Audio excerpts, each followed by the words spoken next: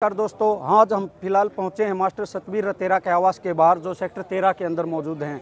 Sector तेरह का जो मास्टर सतबीर रतेरा का आवास है, उसके ऊपर आज सुबह छः बजे से ईडी की कार्रवाई चल रही है।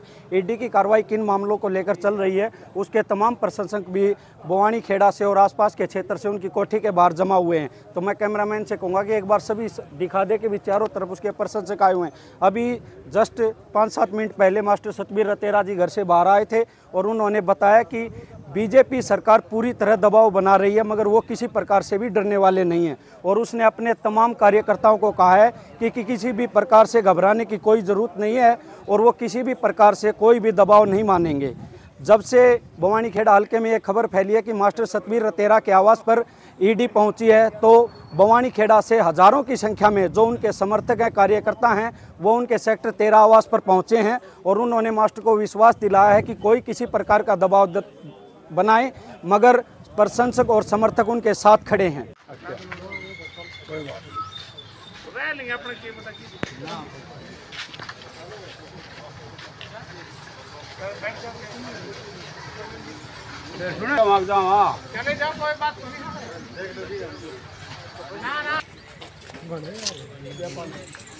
ठीक है ठीक है कोई बात नहीं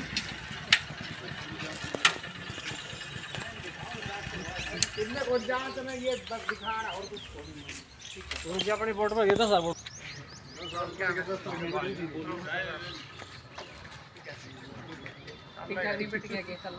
निपटन की कोई बात बंद दबाव है बीजेपी का। निपटन किया तो थोड़ी लड़े फ़ायदा है जो होगा देखें। फिर